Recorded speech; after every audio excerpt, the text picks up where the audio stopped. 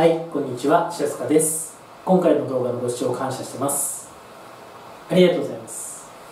今回は地球人材として輝く帝王学ということで経営学講座の第966回をやっていきたいと思います。今回は多台持ち作業というのをやっていきたいと思います。前回は多工程持ち作業ということですね。まあ、仕事作業そのものを複数同時に持つというのが多工程持ち作業というものでした。で今回は多台持ち作業ということですね。で何が違うかということなんですけど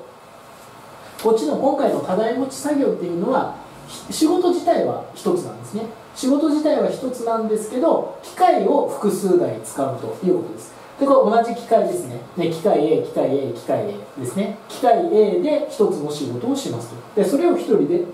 やってるわけですね。だから工程自体は一つなのでだからこの人は単能工なんですよ。ね、工程自体は一つなのででこの人は単能工なんですね。一つの工程をする作業者なので単能工ですね。ただ同じ仕事をね、え、複数の機械同じ複数の機械を使って仕事をする。これが課題持ち作業ということですね。この人も一つの工程にっていう一つの仕事だけをやるので一つの工程だけを受け持っている単能工なんですね。ただこの人も機械 B 機械 B 機械 B という同じ仕事を複数台の機械を使ってやってるということですね。これが今回の多台持ち、え作業ということになります。前回の多工程持ち作業っていうのは機械あ工程1仕事え仕事の一つを機械 A でやって仕事の、え別の仕事を機械 B でやってえ別の仕事を機械 C でやる。この人は複数の工程の仕事をね、えー、1人でやるということですね。だから使う機械も機械 A 機械 B 機械 C で使う機械も違うわけです。でこの人は複数の工程を持っているので多能工。単能工じゃなくて多能工ということですよね。この人は同時にいくつもの機械を使っていくつもの仕事を同時進行でやるということですね。今回の課題持ち作業っていうのは1人の人が1つの仕事を複数台の機械を使ってやるということになります。はい。課題持ち作業ということで作業者が複数台の機械を受け持って行う作業ということですね。でこれをやることの長所っていうのは何ですか？要するにこう機械1台じゃなくて機械2台とか3台とか複数台の機械を使って、え行う、えことの、ね、長所と短所って何ですかっていうことなんですけど長所は作業者の稼働率が高くなりますよということですね。この人の稼働率が上がりますということです。で稼働率って何ですかっていうと就業時間分の有効稼働時間ということですよね。例えばこの人は8時間労働8時間労働8時間労働というのであればここが8時間ですよね。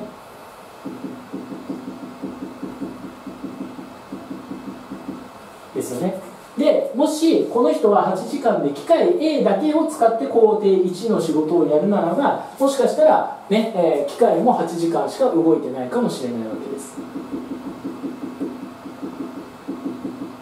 ですね。なんですけど機械を1台じゃなくて2台使えば、ね、この人は8時間で8時間労働なんですけど機械を2台使ったってことはこの機械が8時間働いてこの時間も機械も8時間働くならばこっちの分子の方が16と上がる場合もあるし機械3台使えば機械は24時間働いてましたということが、え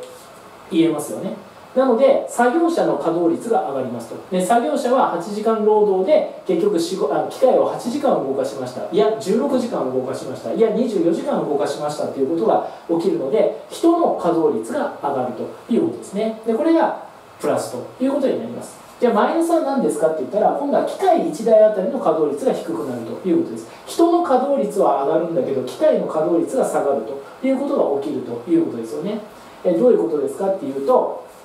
機械の利用可能時間に対して有効稼働時間が、ね、下がるということです。要するにこう機械は8時間利用することができるんだけど実際は7時間しか利用できませんでした。1台あたりですね。機械 A は本当は8時間利用できたんだけど8時間利用しないで7時間しか利用できなかった。っていうようなことが起きるということです。でなんでそんなことが起きるんですかっていうと機械干渉が生じるからということですね。で機械干渉ってどういうことですかっていうと作業者がある機械の修理などを行っている間に他の機械も停止状態になるということです。例えばこれが故障しちゃったと。ね。これが故障しちゃいましたということですね。そしたらこれをね結局これを故障したのでこれをこう修理しないといけない。直さないといけないということですよね。でそうした時に、まあ、一番分かりやすいのはこの人が例えばこれを直すためにこう、ね、一時的にこう席を外さないといけないと言った時になんかねちょっとこれが故障したからっていうことででじゃあこれを直すための部品を取りに行ってきますとか、ね、部品を調達してきますとか、ね、もしくはその修理するための工具を、ね、取りに行くとって言った時にこの機械 A とこの機械 A も停止しないといけないですよね。この人はここの現場から離れるわけですから。ね、え結局今この人はこの現場で3台の機械を見てたわけですけどこの機械 A っていうのが壊れちゃったのであしまったということでじゃあこの機械を直さないといけない。じゃあ部品を調達しに行こうとか直すための工具を取りに行こうということで、ね、この場を離れないといけないっていうのが一番分かりやすいですよね。でこの場を離れるっていうことをすると結局これこの機械 A この機械 A というのを動かしたまま放置することはできないのでこれを一回止めないといけないですよね。でそうするとこの機械 A この機械 A というのが止まっちゃうので結局こういったことが起きるということですよね。結局この機械が、ねえ、故障してたためにこれの稼働,、え、稼働時間っていうのも、え、減ってしまう短くなってしまうということですよね、え、これが機械干渉ということになります。ただただい持ち作業っていうのはえプラスは、ね、え1人当たりの稼働率が上がりますよ。マイナスが機械干渉が生じた場合は機械当たりの稼働率が下がっちゃいますよ。ということですよね。でこれが多台持ち作業ということになります、まあ、そうからすると前回の多工程持ち作業の方がやっぱりね長所が大きいということですよね、まあ、このえ多工多多工程持ち作業の場合は、まあ、結局この人が、ね、この仕事もこの機械 A であってこの仕事も機械 B であってこの仕事も機械 C でやるということでこの人がね、え、複数の仕事っていうのは同時進行でやっていくので、まあ、すごくこう生産性が高い、え、形になっているということですよね。ただ今回の多台持ち作業っていうのはこの人が1人で機械 A を1台だけ使うよりは、ね、複数台使った方がこの人当たりの稼働率なんか人っていうのに焦点を当てた場合の稼働率が上がるということですねこれが今回の多台持ち作業と特徴ということになりますはい、今回の動画はですね、あなたのお役に立ったということであれば、ぜひグッドのボタンを押して応援していただけると嬉しいです。チャンネル登録もよろしくお願いいたします。そして現在ですね、メルマガ登録していただいた場合は、特典教材をプレゼントしていますので、ぜひこの機会にメルマガを登録してください。よろしくお願いいたします。はい、最後までご視聴くださり感謝してます。ありがとうございます。白坂慎太郎でした。それではまた。